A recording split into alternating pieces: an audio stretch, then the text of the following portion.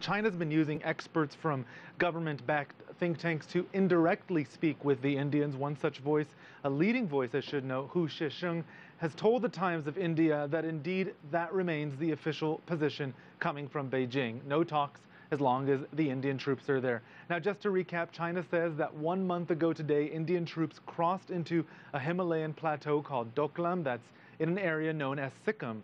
A Chinese construction firm, reinforced by a team of unarmed Chinese soldiers, had been building a road through the valley, a road that China insists was being built peacefully and on sovereign soil. Now, Bhutan also has a claim to the territory, and a group, small group of Indian troops who were based there were sent in to block the construction. Since then, more and more troops from both China and India have arrived. We should note that the two countries share 4,000 kilometers of border, much of it unguarded.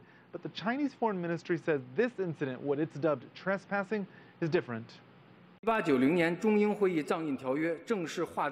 Sikkim section was formally defined by the convention between Great Britain and China relating to Sikkim and Tibet in 1890. The successive governments of both China and India have recognized the validity of the convention, which is therefore valid and legally binding for both countries. Well, meanwhile, Delhi is standing its ground but insists the standoff will be resolved without any, quote, muscle flexing. As far as Doklam area uh, issue is concerned, uh, you know, we we have we have diplomatic uh, channels available. The embassies are there in both countries, and those channels uh, will continue to be used. Still, for many on both sides, the confrontation is a reminder of the month long war the two countries fought more than 50 years ago again over a road. And one of the big questions here is how does each side take a step back without seeming like they're retreating in the eyes of their own people?